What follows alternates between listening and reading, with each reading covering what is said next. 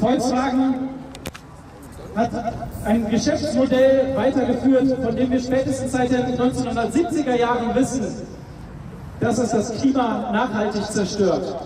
Die Erdölindustrie und die Automobilindustrie wusste, dass der massenhafte Verbrennungsmotoreneinsatz das Klima irreparabel schädigt.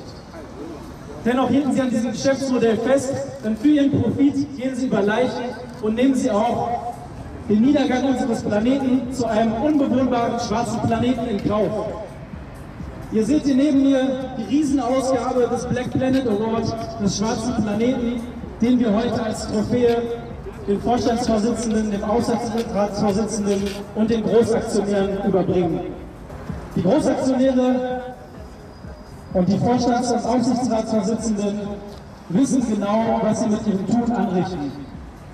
Sie ducken sich weg, statt ja einen echten Neuanfang oder eine Verkehrswende zu ermöglichen. Sie lügen, sie betrügen, sie verweigern sich dem, äh, dem Parlamentarischen Untersuchungsausschuss. Sie zahlen Schweigegelder an Manager, die vor Gericht stehen. Und erst vor zwei Wochen haben sie die Boni ausgezahlt, die vor drei Jahren wegen dem Dieselbetrug eingefroren wurden. Sie machen also weiter wie bisher. Und noch dazu versuchen sie uns mit den Elektromotoren eine Verkehrswende zu beschaffen, die keine Verkehrswende ist. Sie versuchen uns Elektromotoren zu verkaufen als grüne Lösung, die sie nicht ist. Denn die Elektromotoren haben eine genauso schlechte Klimabilanz wie die Dieselmotoren. Sie benutzen diese Ausrede, um eine massenhafte Entlassung in den Werken durchzusetzen. Und damit spielen sie uns gegeneinander aus. Sie wollen Beschäftigte, Gewerkschafter und Umweltschützer gegeneinander ausspielen. Doch tatsächlich haben wir alle das gleiche Anliegen.